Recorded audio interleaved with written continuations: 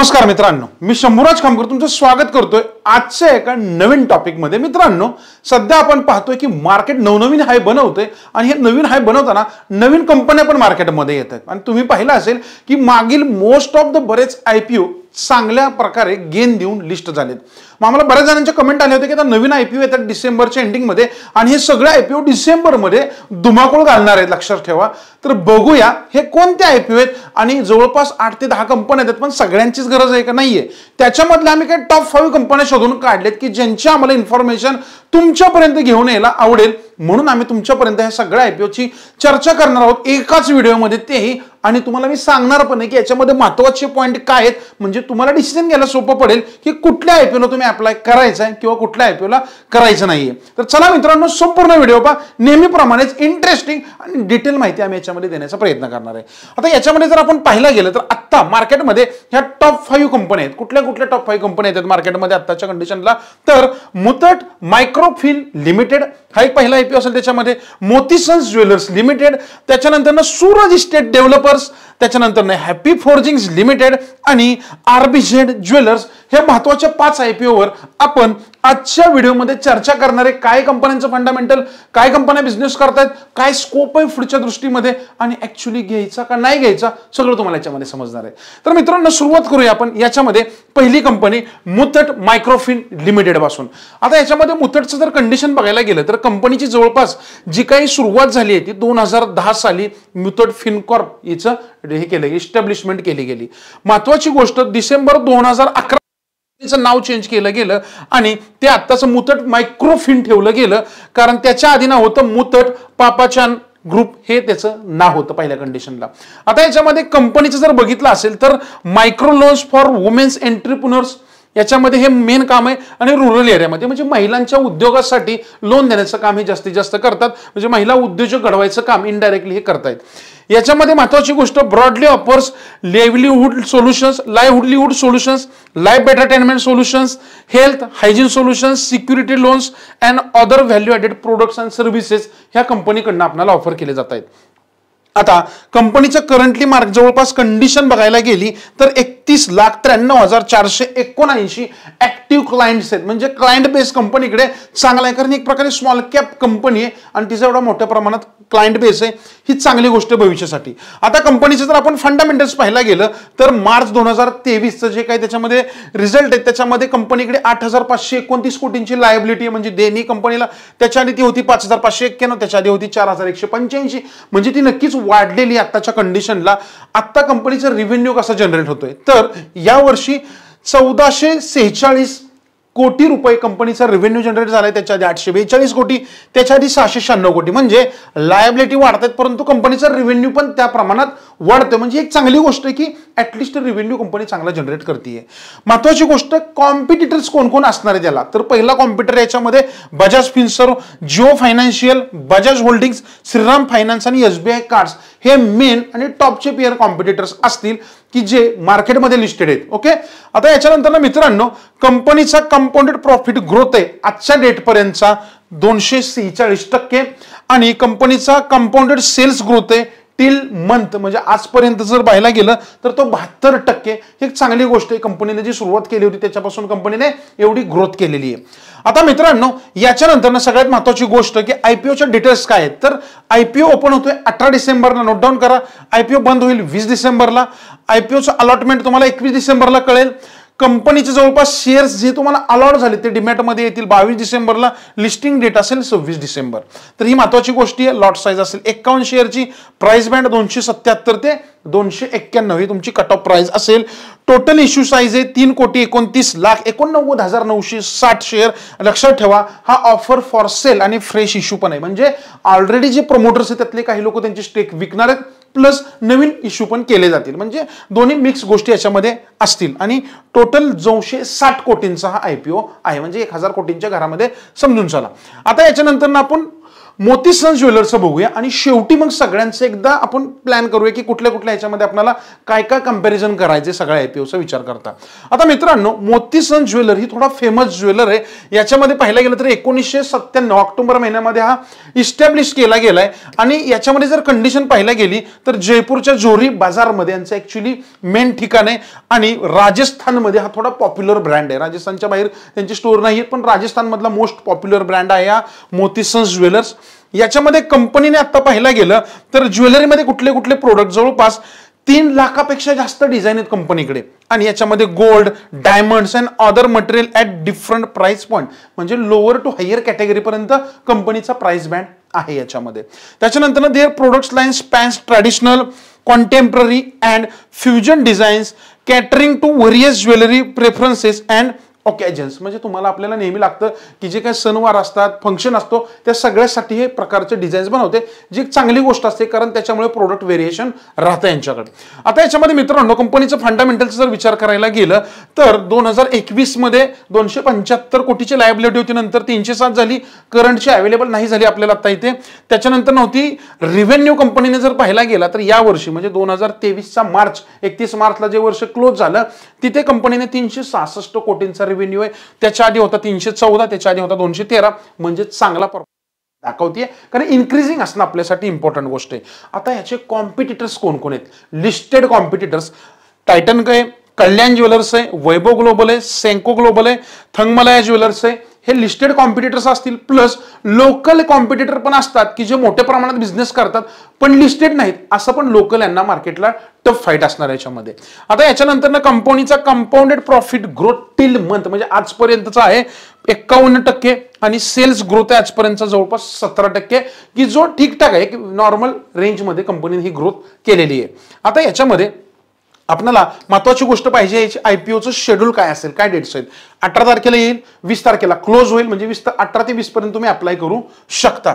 Allotment कळेल एकवीस तारखेला बावीस तारखेला शेअर तुम्हाला अलॉट केले जातील आणि सव्वीस डिसेंबरला याचं लिस्टिंग केलं जाईल मार्केटमध्ये मित्रांनो महत्वाची गोष्ट लॉट साईज असेल अडीचशे शेअरची प्राइस बँड असेल बावन्न ते पंचावन्न बावन्न फ्लोअर प्राइस असेल पंचावन्न तुमची कट ऑफ प्राइस असेल याच्यामध्ये. इश्यू साईज आहे दोन कोटी चौऱ्याहत्तर लाख एकाहत्तर हजार शेअर इश्यू करणार आहेत म्हणजे जवळपास एकशे एक्कावन्न कोटींचा आयपीओ म्हणजे एक छोटा आयपीओ आहे दीडशे कोटीच्या घरामध्ये. ही कंपनी पैसे उभा करायचा प्रयत्न करते आता याच्यानंतर पुढची तिसरी कंपनी आहे सूरज डेव्हलपर्स लक्षात ठेवा तुम्ही तीन पाच पैकी कुठलाही एक करा पण माहिती सगळ्यांची तुम्हाला घेऊन ठेवायची कारण याचा फायदा अप्लाय करताना होतो आपल्याला. सूरज इस्टेट डेव्हलपर जर तुम्ही पाहिला गेला असेल तर जवळपास पस्तीस वर्षापासून ही कंपनी मार्केटमध्ये एकोणीसशे शहाऐंशी साली सूरज इस्टेट डेव्हलपर्स या कंपनीची स्थापना करण्यात आली आणि ॲक्च्युली मुंबईमधल्या प्राईम लोकेशनमध्ये यांचे प्रोजेक्ट्स आहेत. आणि याच्यामध्ये जर तुम्ही पाहिला गेला असेल तर जवळपास माहीम दादर आणि प्रभादेवी इथे मेन जे काही ठिकाण आहेत मुंबईतली इथे यांचे मोठे मोठे लॅविश प्रोजेक्ट्स आहेत. महत्वाची गोष्ट Suraj developer is more than ten lakh square foot of land in Mumbai स्वतःची दहा लाख स्क्वेअर फुटापेक्षा लँड आहे त्यांच्याकडे. Luxury segments in various price म्हणजे जर पाहायला गेला आपण तर एक कोटीपासून तेरा कोटीपर्यंत घर ऑफर करतात. किंवा म्हणजे फ्लॅट असतील रेसिडेन्शियल प्रॉपर्टीज असतील तर ते बनवायचं काम करतात. मित्रांनो याच्यानंतर महत्वाचं आयपीएस ऑब्जेक्टिव्ह काय तर ॲक्वायझेशन ऑफ ऑब्जेक्टिव्ह ऑब्जेक्टिव्ह काय आहेत ह्या आयपीओचे तर लँडचं ॲक्वायझेशन करायचे for developments rights and general corporation purpose म्हणजे जोही पैसा येणार आहे त्याच्यातून ते पुन्हा काय करणार? नवीन लँड घेणार आहेत आणि नवनवीन प्रोजेक्ट क्रिएट करणार आहेत. म्हणजे ही सगळी गोष्ट डेव्हलपमेंट रिलेटेड आहे. जो एक चांगला आणि प्लस पॉईंट असतो. मित्रांनो याच्या पुढची महत्वाची गोष्ट असेल की कंपनीचं फंडामेंटल काय सांगते? दोन हजार एकवीसमध्ये कंपनीकडे लायबिलिटी होत्या सातशे ब्याण्णव कोटी आठशे चौसष्ट कोटी नंतर झाल्या नऊशे त्रेचाळीस कोटींच्या. आणि ॲज कंपेअर करता रिव्हेन्यू दोनशे चव्वेचाळीस कोटी होता. दोन हजार एकवीसला तो नंतर बावीसमध्ये दोनशे त्र्याहत्तर झाला. त्यानंतर तीनशे सात झाला. आता लक्षात ठेवा तुम्हाला असं वाटत असेल की लायबिलिटी ॲक्च्युली रेव्हेन्यूपेक्षा खूप मोठ्या प्रमाणात हे डेव्हलपर कंपन्यांचं असतं. रिअल इस्टेट कंपन्यांना ऑलरेडी खूप मोठी इन्व्हेस्टमेंट करावी लागते. त्यानंतर ते सेल आउट होत असतं. म्हणून थोडी लायबिलिटीज ते जास्त दिसतात ह्या सेक्टरमध्ये याच्यानंतर कंपनीला कॉम्पिटिटर्स कोण कोण आहेत? लिस्टेड कॉम्पिटिटर हे DLF Godrej Properties Oberoi Realty Prestige Estate आणि फिनिक्स मिल्स हे महत्त्वाचे लिस्टेड कॉम्पिटिटर्स आहेत. आणि तुम्हाला माहिती आहे ही अशी साईट आहे याच्यामध्ये लोकल कॉम्पिट कॉम्पिटिटर्स पण मोठ्या प्रमाणामध्ये असतात प्रत्येक ठिकाणी. म्हणजे ती टफ फाईट कंपनीला करावी लागणार आहे त्यानंतरनं. आता याच्यानंतरनं कंपनीचा प्रॉफिट ग्रोथ किती असेल आतापर्यंत बावीस टक्क्याचा आहे मित्रांनो. कंपाऊंडेड सेल्स ग्रोथ आहे आतापर्यंत बारा टक्के. म्हणजे एक ठीकठाक आहे. खूप मोठ्या प्रमाणात नाही वाटत किंवा खूप कमी नाही आहे नॉर्मलने कंपनीने आजपर्यंत ग्रोथ केलेली आहे आता मित्रांनो याच्यामध्ये सगळ्यात महत्त्वाची गोष्ट की कंपनीचं जे काय आयपीओ येणार आहे त्याचं शेड्यूल काय असेल? तर पहिली गोष्ट अठरा डिसेंबरला येईल. अठरा एकोणीस वीस तीन दिवस तुम्ही अप्लाय करू शकता. अलॉटमेंट तुम्हाला एकवीस डिसेंबरला कळेल. तुमच्या डिमॅटला बावीस डिसेंबरला शेअर्स येतील आणि सव्वीस डिसेंबरला म्हणजे इथे तुम्हाला लिस्टिंग होईल जर तुम्हाला ते अलॉट झाले असतील तर. आता याच्यामध्ये एक्केचाळीस शेअरचा एक लॉट असेल. त्याची प्राइस असेल तीनशे चाळीस ते तीनशे साठ या रेंजमध्ये आय पी ओची इश्यू साईज आहे एक कोटी अकरा लाख अकरा हजार एकशे अकरा शेअर्स इश्यू करतायत. एक एक एक एक सगळा आकडा त्यांनी ते बघा छान पद्धतीने मेंटेन केलेला आहे. जवळपास चारशे कोटी रुपये हे मार्केटमधून उभे करायचा प्रयत्न करतायत. ओके तर ही अशा पद्धतीने डिटेल होती. सूरज डेव्हलपर्स बाबत. आता मित्रांनो आणखीन एक छान कंपनी आहे. तिचं नाव आहे हॅपी फोर्जिंग्स लिमिटेड लक्षात ठेवा फोर्जिंग मधली इंडस्ट्री आहे. कारण व्हेरियस कंपन्या येतात मार्केटमध्ये ह्या कंपनीचे पाहायला गेलं तर एकोणीसशे एकोणनव्वद साली सॉरी एकोणीसशे एकोणऐंशी साली कंपनीची इस्टॅब्लिशमेंट केलेली आहे. फोर्जिंग लिमिटेड ही कंपनी की जी नॉर्मली सगळ्या फोर्जिंग रिलेटेड गोष्टी तयार करत असते. इंजिनिअरिंगमध्ये lead manufacturer of complex and safety critical heavy forged and high precision machine and components in India की जे डिमांडिंग आहे कारण लक्षात ठेवा इंडियामध्ये मॅन्युफॅक्चरिंग सेक्टर खूप मोठ्या प्रमाणात आता ग्रो होते आणि ते ग्रो होताना ह्या कंपन्यांना जास्त बेनिफिट असतो. जिथेही मॅन्युफॅक्चरिंग फील्ड वाढते तिथे ह्या कंपन्यांचा इनडायरेक्टली किंवा डायरेक्टली बिझनेस वाढायला मदत होते. तो एक प्लस पॉईंट असेल यांच्यासाठी. Industry focus manufacturing on segments of automotive railway engine and power generation and oil and gas construction and mining agriculture म्हणजे या सगळ्या बिझनेससाठी कंपनी इन्स्ट्रुमेंट्स तयार करून देते आणि हे सगळे बिझनेस सध्याच्या कंडिशनला ट्रेंडिंग आहेत हा एक प्लस पॉईंट याच्यामध्ये राहील. मित्रांनो कस्टमरचा बेस पाहायला गेला तर नऊ देशामध्ये कंपनी काम करते आतापर्यंत जेवढे आपण आयपीओ पाहिले त्याच्यामधला हा एक असा मल्टीनॅशनल दिसतोय आपल्याला की जो ब्राझीलमध्ये काम करतोय. त्याच्यानंतर इटलीमध्ये आहे जपानमध्ये स्पेनमध्ये मित्रांनो Sweden Thailand Turkey United Kingdom आणि युएसए म्हणजे अमेरिका. जवळपास सात ते आठ देशामध्ये यांचा बिझनेस आहे. चांगली गोष्ट रिव्हेन्यू जनरेट करायला प्लस कंपनी ग्लोबली आहे हे आपल्याला याच्यामधून सिद्ध होत आहे आता मित्रांनो फंडामेंटल काय सांगतायत? लक्षात ठेवा सगळ्यात महत्वाची गोष्ट. तर याच्यामध्ये दोन हजार एकवीसमध्ये आपण पाहायला गेलं रिव्हे कंपनीच्या लायबिलिटी आठशे चौऱ्याहत्तर कोटी होत्या. त्यानंतरनं ते अकराशे तीस झाल्या त्यानंतरनं तेराशे सव्वीस झाल्या. नॉर्मल वाढतात हे सगळ्या इंडस्ट्रीमध्ये आपण पाहतो पण रिव्हेन्यू काय सांगतोय? तर दोन हजार बावीसमध्ये आठशे सहासष्ट कोटी होता तो त्यानंतर बाराशे कोटीपर्यंत गेलाय. म्हणजे चांगल्या पद्धतीने तो वाढलेला आहे. ही गोष्टी आपण इथे पाहू शकता. आता याचे कॉम्पिटिटर्स कोण कोण असतील? जे लिस्टेड आहेत मार्केटमध्ये लिस्ट असणाऱ्या कंपन्या तर त्याच्यामध्ये मुख्य नाव घेतलं जातं भारत फोर्ज की जो मेन कॉम्पिटिटर इंडियामध्ये. A I A engineering limited TVS holdings PTC industries आणि रामकृष्णा फोर्स हे मेन पाच कॉम्पिटिटर्स आहेत. याच्या व्यतिरिक्त इतरही राहतील. प्लस लोकल मार्केटमध्ये असलेली टक्कर ही प्रत्येक कंपन्यांना फेस करावी लागतेच लागते. आता याच्यामध्ये कंपनीचा कंपाऊंडेड प्रॉफिट ग्रोथ सत्तेचाळीस टक्के जवळपास. कंपनीचा त्याच्यानंतर जर पाहिलं गेले सेल्स ग्रोथ आहे आजपर्यंतचा एकोणचाळीस टक्के. मित्रांनो हा चांगला आकडा आहे आणि खूप ॲग्रेसिव्ह पद्धतीने कंपनीने डेव्हलपमेंट केली आहे. आणि तुम्हाला मी ऑलरेडी सांगितलं की सध्या मॅन्युफॅक्चरिंग कंपन्या किंवा त्या रिलेटेड असणारी इंडस्ट्रीला चांगले दिवस आहेत. ओके तर त्यामुळे थोडा इथे शायनिंग वाटतोय आम्हाला या कंडिशनमध्ये आता आय पी ओ येतोय एकोणीस डिसेंबरला ओपनिंग होतोय तो. क्लोज होईल. एकवीस डिसेंबरला अलॉटमेंट मिळेल. बावीस तारखेला तुमच्या डिमेटला जमा होतील. सव्वीस डिसेंबरला आणि सत्तावीस डिसेंबरला हा मार्केटमध्ये लिस्ट झालेला असेल. मित्रांनो कंपनीची लॉट साईज असेल सतरा शेअरची याच्यामध्ये पाहायला गेलं तर आठशे आठ ते आठशे पन्नास हा प्राइस बँड असेल. आणि महत्वाची गोष्ट कंपनीचा जो आय पी आहे त्याच्यामध्ये ओ एफ एस आणि फ्रेश इश्यू म्हणजे दोन्ही पण इन्क्लूड आहेत. ओ एफ एस म्हणजे ऑफर फॉर सेल असतो जिथे कंपनीचे असलेले प्रमोटर विकतात प्लस काही नवीन पैसा पण उभा करतात. म्हणजे मिक्स आहे याच्यामध्ये. जवळपास एकाहत्तर लाख एकोणसाठ हजार नऊशे वीस शेअर्स कंपनी मार्केटमध्ये इश्यू करते ज्याचं व्हॅल्युएशन एक हजार कोटीच्या घरात होते मित्रांनो अशा पद्धतीने पाहिलं आपण ह्या फोर्जिंग कंपनीचं आणि आता सगळ्यात महत्वाची आणखीन एक ज्वेलर येतोय मार्केटमध्ये त्याचं नाव आहे आरबी झेड ज्वेलर्स मित्रांनो ही पाचवी कंपनी आहे. इंटरेस्टिंग आहे हा पण याच्यामध्ये. आपण जर पाहायला गेलं तर आरबी झेड ज्वेलर हा गोल्ड ज्वेलरी मॅन्युफॅक्चरिंगमध्ये काम करतो आणि महत्वाचं अँटिक ज्वेलरी किंवा अँटिक डिझाईन असतात ना याच्यामध्ये यांचा हातखंड आहे. याच्यामध्ये जर तुम्ही पाहायला गेलं तर कंपनीचे design manufacturing wide range of antique and gold jewellery consisting of jadau meena and kundan work and sells it on wholesale and retail basis म्हणजे दोन्हीकडे पण ही कंपनी काम करते कंपनीचं wholesale customer base includes reputed national regional and local family jewellers across nineteen states and seventy two cities of India म्हणजे all over इंडियामध्ये पसरलेली कंपनी आहे. आणि ज्वेलरी म्हणलं की तुम्हाला माहिती आहे की लोअरपासून अगदी हायर कॅटेगरीपर्यंत सगळ्यांना असणारी गरज आहे पूर्ण गर्दी. आणि याचा तो कस्टमर बेस पण आहे. मित्रांनो RB Z jeweller limited also operates its retail showroom under the brand name Harit Zaveri हे नाव आहे. तुम्ही कधी याचं शोरूम किंवा दुकानं पाहिले असतील तर आता समजून जाईल. आरबी ज्वेलरचं हरित झवेरी नावाने तुम्हाला शॉप्स पाहायला मिळतील. Leading player in Ahmedabad. अहमदाबादमध्ये ॲक्च्युली हा मुख्यत्वे काम करतो. म्हणजे त्या रिजनमध्ये याची जास्तीत जास्त दुकानं तुम्हाला पाहायला मिळतील. मित्रांनो याच्यामध्ये कंपनीचं फंडामेंटल काय सांगतं? मार्च दोन हजार एकवीसमध्ये एकशे चोवीस कोटीची लायबिलिटी होती. एकशे चोपन्न झाली. त्यानंतर ती दोनशे सात कोटीपर्यंत गेली. आणि रिव्हेन्यू दोनशे एकोणनव्वद होता. दोनशे बावन्न. आणि त्यानंतर दोनशे एकोणनव्वद. म्हणजे रिव्हेन्यूमध्ये कंपनीला काय खूप खास करता आलेलं नाहीये. म्हणजे ॲज इट इज रिव्हेन्यू आहे. परंतु लायबिलिटीज कंपनीच्या वाढत गेल्यात. त्यामुळे थोडं कॉशियस पॉईंट आम्हाला इथे वाटतोय की फंडामेंटल जे पद्धतीने गरजेचे स्ट्रॉंग तेवढं दिसत नाही इथे. याच्यानंतर कॉम्पिटिटर्स कोण कोण असतील याच्यामध्ये? तर कल्याण ज्वेलर नेहमी Vaibhav global Senco global Thangamayil jewellers आणि टायटन हे महत्त्वाचे कॉम्पिटिटर्स पेअर कॉम्पिटिटर आपल्याला याच्यामध्ये पाहता येतील स्टॉक मार्केटमध्ये कंपनीचा प्रॉफिट ग्रोथ कसा झालेला आहे आजपर्यंत? तर चौदा टक्के ॲव्हरेज आहे.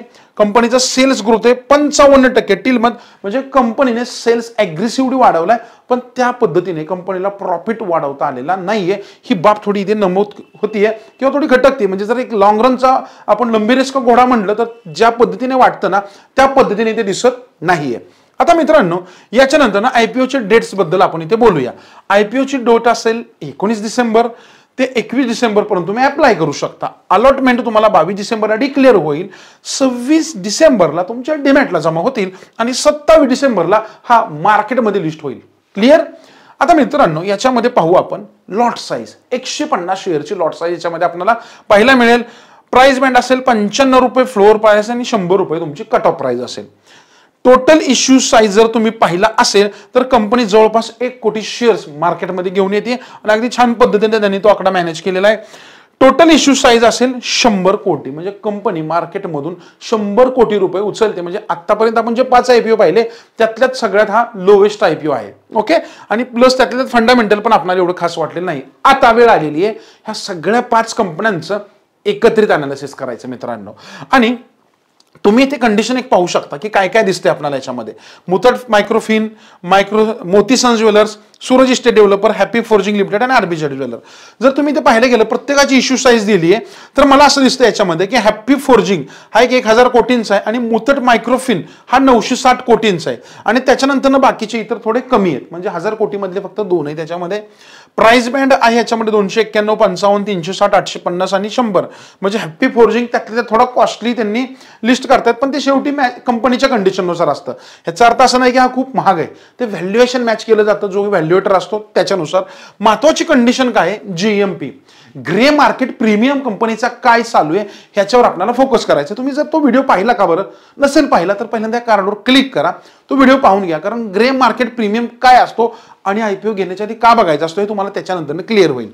जीएमपी जर आपण इथे पाहायला गेलो तर जवळपास याचा एकशे पाच रुपये जीएमपी चालू आहे आत्ताच्या कंडिशनला म्हणजे पंचेचाळीस टक्के आता हा तेजीत आहे. जी काही प्राइस येते त्याची मार्केटमध्ये याच्यापेक्षा त्याच्यानंतर मोतीसन ज्वेलर शंभर टक्के याचा आत्ता कंडिशन आहे. म्हणजे शंभर रुपये त्याचा आत्ता काय? ग्रे मार्केट प्रीमियम ही एक चांगली गोष्ट आहे. त्याच्यानंतर नाही सूरज इस्टेट त्याची जर पाहिलं गेलं ग्रे मार्केट प्रीमियम पासष्ट रुपये. याच्यामध्ये आहे हॅपी फोर्जिंगचा चारशे साठ आणि पस्तीस. जर पाहायला गेलं टक्केवारीमध्ये तर कुठल्या कंडिशनमध्ये तुम्हाला जास्त दिसतोय? तर बघा पहिली कंडिशन याच्यामध्ये आपण जर पाहायला गेलो तर हा जो दोन नंबरचा स्टॉक आहे ज्याचं नाव आहे मोतीसन ज्वेलर हा जीएमपी मध्ये सध्या अग्रेसिव्ह आहे. त्याच्यानंतर जर पाहायला गेलं आपण तर दोन नंबरची जी शेवट दोन नंबरला राहतो चोपन्न पॉईंट बारा टक्के ग्रे मार्केट प्रीमियम आहे. ती कंपनी आहे हॅपी फोर जी जे तुम्हाला मी आधी बोललो की याचं फंडामेंटल आम्हाला तेवढं स्ट्रॉंग वाटते. तीन नंबर जर आपण इथे पाहायला गेलो याच्यामध्ये तर हा लागतो एक नंबरची कंपनी म्हणजे मुतट मायक्रोफिन लिमिटेड. त्याच्यानंतर जर आपण पाहायला गेलो की खालच्या लेवलला हा आहे याचं नाव असेल तुमच्यासाठी सूरज इस्टेट डेव्हलपर्स लिमिटेड आणि आरबीजेड ज्वेलर सगळ्यात कमी. आणि मी तुम्हाला फंडामेंटल बघताना पण सांगितलं होतं याचं फंडामेंटल एवढं काही उत्तम वाटत नाही. म्हणजे हे का तुम्हाला सांगितलं? तर तुम्हाला पण तुमची एक लिस्ट बनवता येईल की मी कुठल्या आय पी ओला थोडा रेफरन्स करू शकतो कुठल्या आय पी ओला फोकस करू शकतो. हे झालं डिटेल परंतु आम्हाला काय वाटतंय? हे जे आय पी ओ आपण पाहिले त्याच्याविषयी आपण थोडक्यात चर्चा करूया. म्हणजे तुम्हाला एक कन्क्लुजन मिळेल की कुठल्या आय पी ओला आपल्याला अप्लाय करायचं आहे ते. मित्रांनो पहिली गोष्ट ॲज अ मार्केट इज सध्याचं कंडिशन बघितलं तर मार्केट ट्रेंड पूर्ण बुलिश आहे. त्याच्यामुळे मोस्टली सगळेच आय पी ओ चांगले रन करतायत. चान्सेस आहेत यावेळी पण हेच कंडिशन घडेल. मार्केट टॉपला आहे पण इथून पण मार्केटमध्ये कुठलेही करेक्शन अजून दिसलेलं नाही आहे त्यामुळे हे आय पी ओ पण चालायची शक्यता दाट आहे. दुसरी गोष्ट every I P O explained about aims to raise money for development and their respective firm म्हणजे लक्षात ठेवा जेवढे पण आय पी ओ पैसा उभा करतायत हे सगळे डेव्हलपमेंटसाठीच उभा करतायत. ही सगळ्यात महत्वाची गोष्ट आहे याच्यामध्ये. Muthoot micro finance estate developers ह्या दोघांचा पण मेजर इश्यू साईज आहे. किंवा आपण म्हणू शकतो मोठा प्राइस बँड आहे आणि मोठ्या प्रमाणात पैसा उभा करतायत. आणि मोतीसन ज्वेलरचा जी एम पी सगळ्यात जास्त आहे. म्हणजे चान्सेस असतात वर जाण्याचे किंवा चांगलं प्रीमियम लिस्टिंग देण्याचं. परंतु हे लगेच आपण सांगू शकत नाही. याच्यामध्ये प्लस मायनस होत असतं. तिसऱ्या दिवशी तुम्हाला अंदाज येतो. शेवटी सबस्क्रिप्शन किती होतंय हे पण इथे मॅटर करतं. आणि मित्रांनो याच्यानंतर हॅपी फोर्जिंग्स ह्या overall higher fundamentals and G M P can be as a good company to list as a higher price म्हणजे मोतीसन नंतरनं नंतर ना हॅपी फोर्जिंग तुम्हाला मी ऑलरेडी सांगितलं की ही दोन नंबरला येते आणि प्लस ह्या दोन्ही पण कंपन्यांचं फंडामेंटल तेवढं उत्तम आहे याच्यामध्ये. आता मित्रांनो before applying bid or any I P O study about company details लक्षात ठेवा. हे आम्ही आमच्यापर्यंत द्यायचा प्रयत्न केला आहे अजून खूप डिटेल आहेत. कारण आम्हाला पाच आय पी ओ एका व्हिडिओत बसवायचे होते. ते आम्ही एकदम डिटेलमध्ये देण्याचा प्रयत्न केला आहे परंतु काय होतं? बऱ्याच वेळेला असे आय पी ओ असतात की आपण अप्लाय करतो आपल्याला लागत नाही आणि आपल्याला जे आय पी ओ नाहीत लागत ते चांगली रॅली करतात आणि आपल्या पदरात जे आय पी ओ पडतात त्याच्यामध्ये रॅली भेटत नाही.